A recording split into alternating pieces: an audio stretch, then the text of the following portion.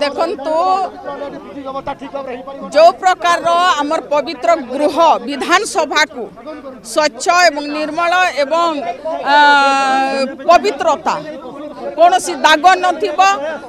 ସେଇ ପ୍ରକାର ଲୋକ ଜନପ୍ରତିନିଧି ଏଇ ପବିତ୍ର ଗୃହକୁ ଆସନ୍ତି ତେଣୁ ଆଜି ଏଠି ଆମର ମାଳ ମାଳ ମନ୍ତ୍ରୀମାନେ লোক হত্যা করে নারী হত্যা বলাৎকার করি এই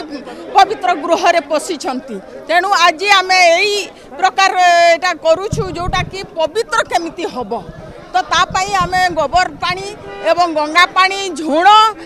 ঝাড়ু আম্ব পত্রে আমি তাকে সফা করুছু